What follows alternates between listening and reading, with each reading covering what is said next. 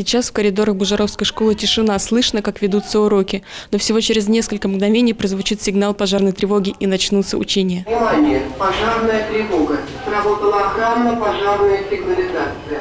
Всем, находящимся в здании, срочно покинуть свое помещение через запасные и аварийно-спасательные выходы. Пользоваться лифтом при эвакуации здания категорически запрещено.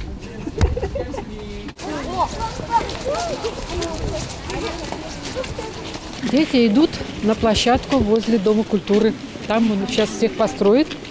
То есть главное отойти на безопасное расстояние. Расстояние от школы. Эвакуироваться в удобное положение, где будут все дети.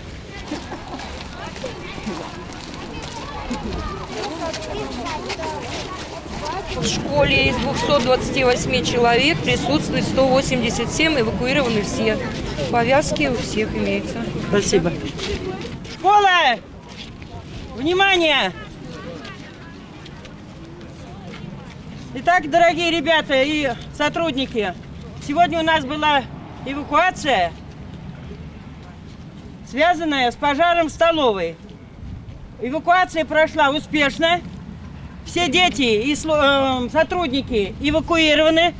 Спасибо.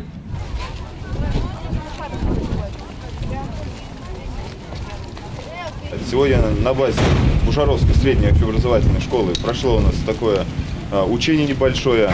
Задали условное место возгорания, это в столовой. А, Прозвучал сигнал тревоги, сработала автоматическая пожарная сигнализация. И все учащиеся, также персонал школы, а, были эвакуированы в безопасную зону.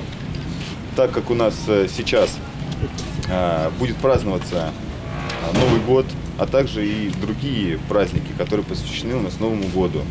Вот.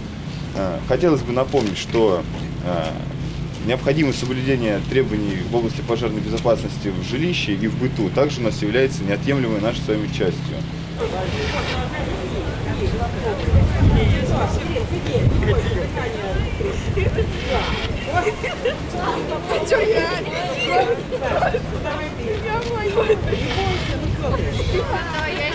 Сегодняшняя тренировка прошла хорошо, потому что по нормам эм, эвакуация не должна превышать 6 минут.